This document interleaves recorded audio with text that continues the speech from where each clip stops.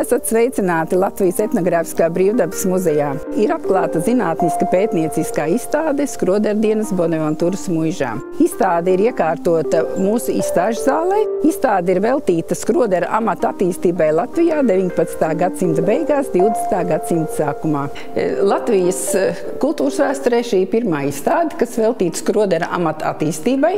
Un tā kā viss jaunais e, sabiedrībā ienāca caur pilsētu, muižu un baznīcu, baznīcu, tad arī muiža ir integrēta mūsu izstādes nosaukumā Skroderdienas Bonaventūras muižā. Un tā kā Latvijas etnogrāfiskā brīvdabas muzeja administrācija atrodas Bonaventūras muižas vēsturiskajā ēkā, tad arī mēs atļāvāmies šo vārdu izmantot mūsu izstādes nosaukumā.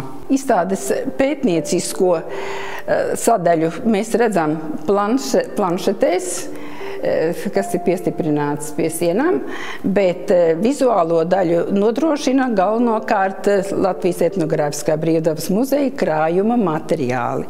Tie ir gan apģērbi, apģērbu daļas, un arī darba rīki, šujmašīnas, viss nepieciešamais, kas ir vajadzīgs šuvējiem, un arī diezgan apjomīga gludekļu kolekcija. No apģērbiem mums ir salīdzinoši e, neliels eksponātu skaits, bet e, daļa no tiem ir ļoti unikāli. Līdz 19. gadsimta vidum e, virsdrēbes šuva galvenokārt vīriešu kārtas drēbnieki bet ar Vidermeieru mākslas stilu, kad mainījās pieprasījums un arī apģērba konstrukcijas, tad bija, nu, radās nepieciešamība arī speciāls, speciāls sieviešu apģērbu šūšanā. Un, lai kļūtu par skunstīgu skroderieni, bija diezgan daudz jāmācās. Daudzas eh, jaunās dāmas aizbrauc uz Pēterburgu mācīties.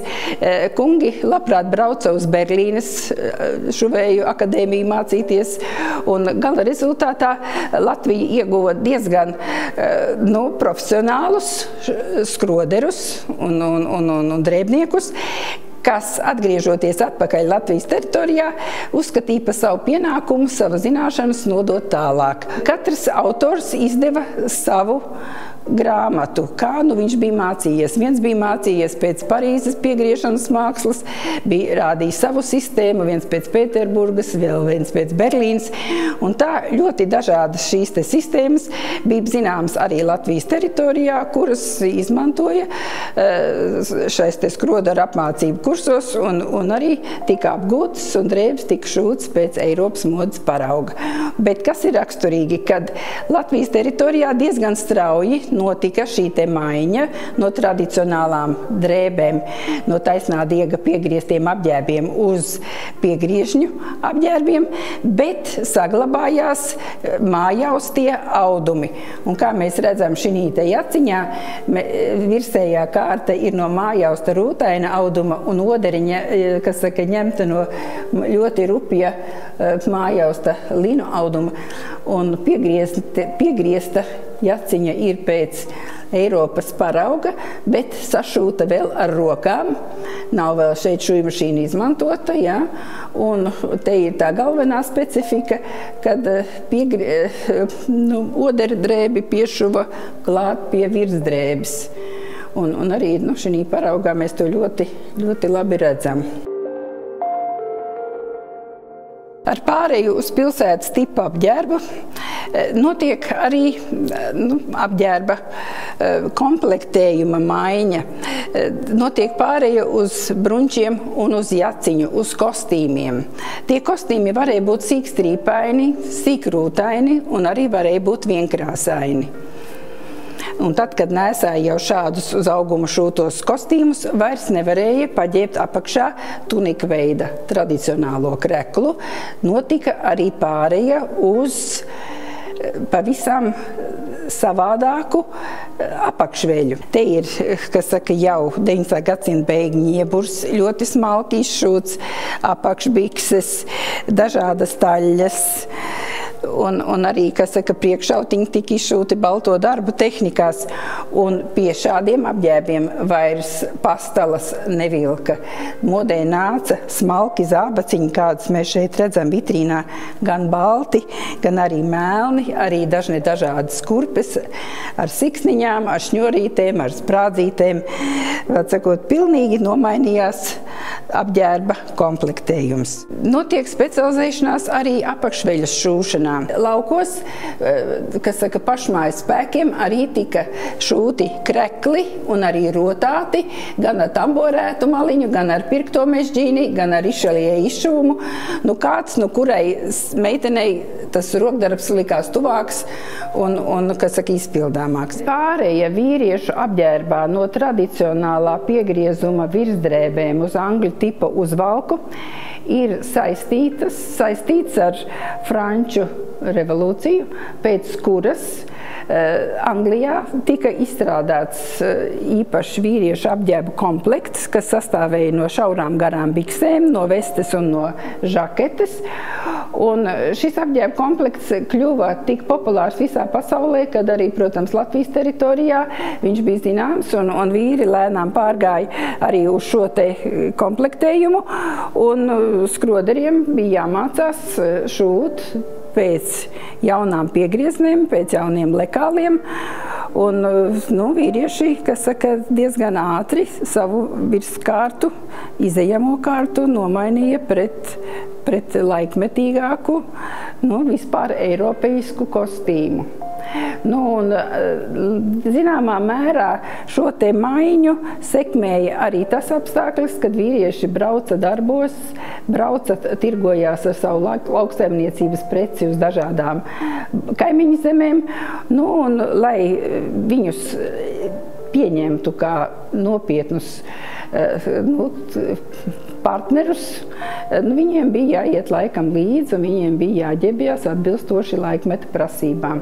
Tāpēc arī vīrieši pirmie bija tie, kas nomainīja savu apģērbu uz Eiropas tipu uzvalku. Nu, lūk, šis stends eh, rāda eh, dažus zīmējumus no mēra noņemšanas mākas, kas ir jāmēra, lai uzšūtu apģēbu, apģēba konstruēšanas un arī modelēšanas.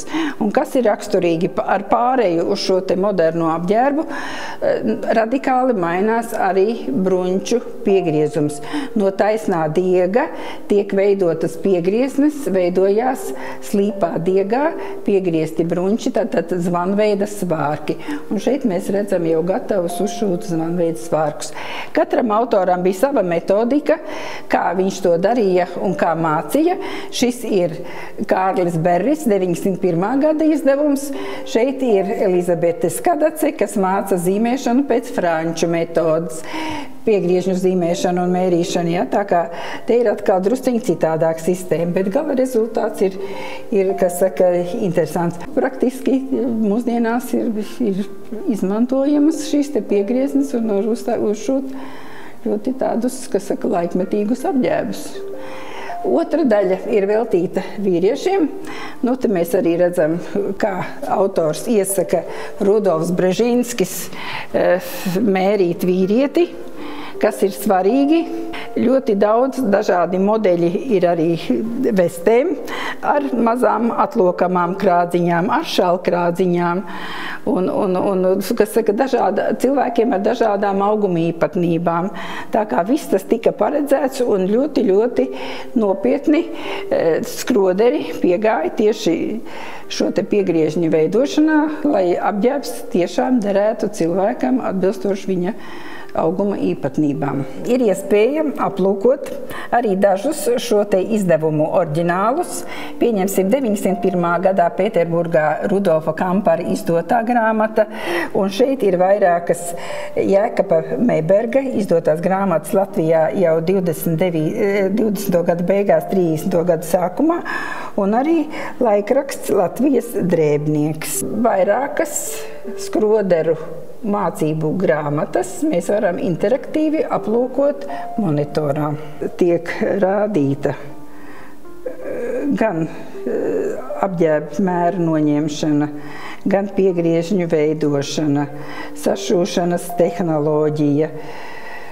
Tālāk, jā, rekurte ir kā oderdrēbi iestrādā, kurās vietās apģērbā, kā viņu iestrādā, kādos virzienos, kā tas tiek darīts, kā tiek gludināts. Eh, kā tiek nopresēts. Ja, tā, kā, tā bija diezgan tāda, nu, liela un apjomīga informācija, kas bija nepieciešama, lai celtu šuvēju kvalitāti gan pilsētās, gan laukos. Un, un cilvēki arī mācījās un šuva un gāja laikam līdzi.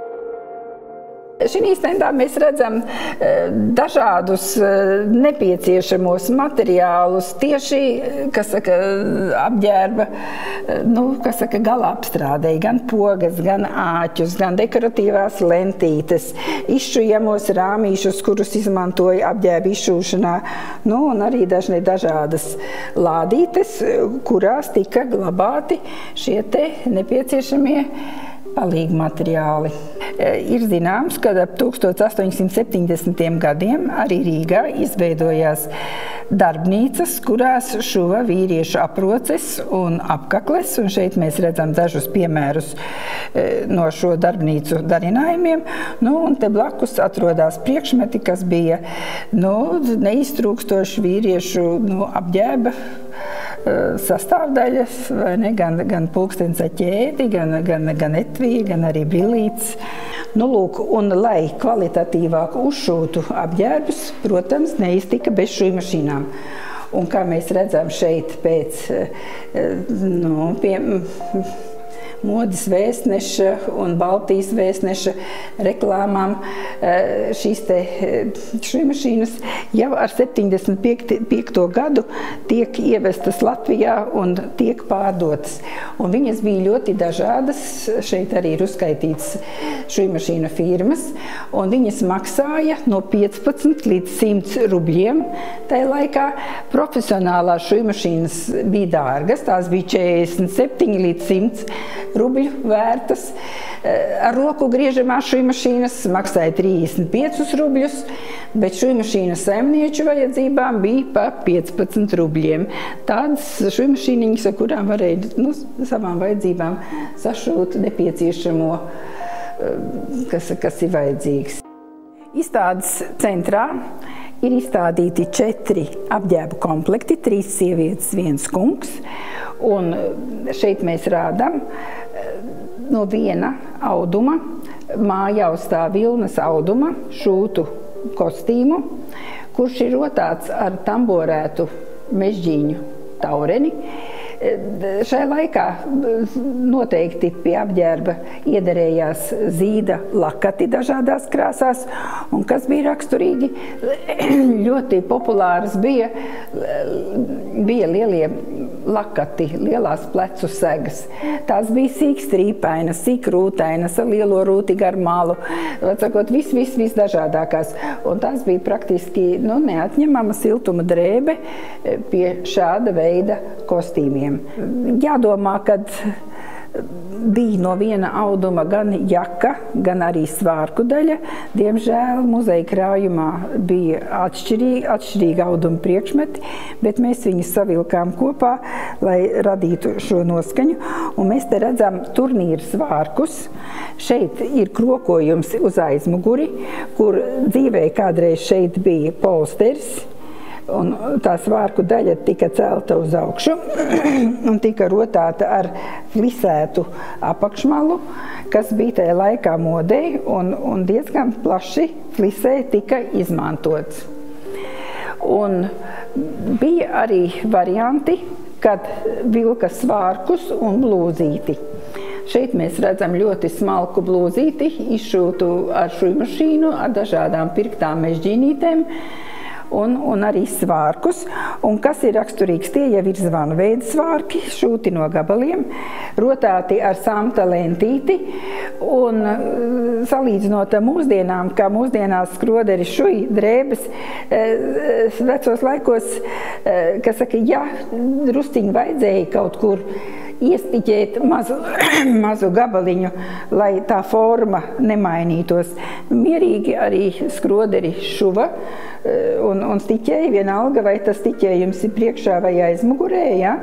un, bet forma tika saglabāta un, un, un tērps tika uzšūts. Šeit ir vadmalas eh, uzvalks, kas sastāv no taisnām garām biksēm, no vestes un arī no žaketes rangļu tipa apkaklīti.